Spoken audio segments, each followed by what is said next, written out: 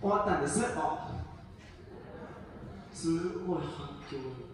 まあそんな感じでえ、まあ、なかなかできないよっていう話だったんですけれどもどうも1回目が終わった後にですねその聞いてみたらですねまああの延長ができないっていうのは要は、えー、次の演奏があるからで2回目があるからだよっていうことなんです。つまり、まあ、今2回目ですよね。3回目はないんです。ってことは次に待っているまあ演奏であったりとか団体さんっていないわけでして言い換えてしまえば、まあ、ここからも勝利の独壇場というような形なんですね。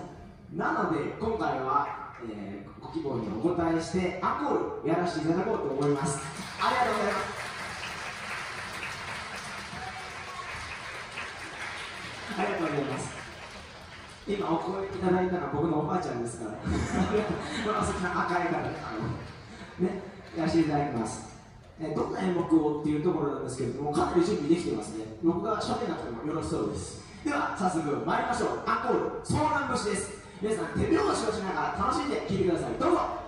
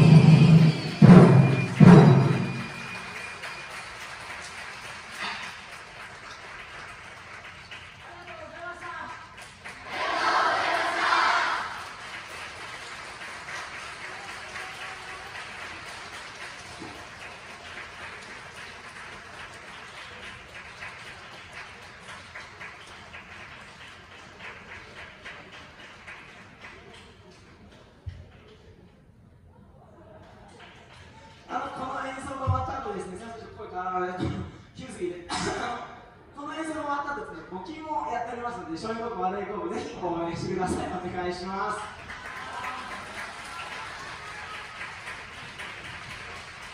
それでは小松の松蔭高校和太鼓部の皆さんに大きな拍手をお願いします。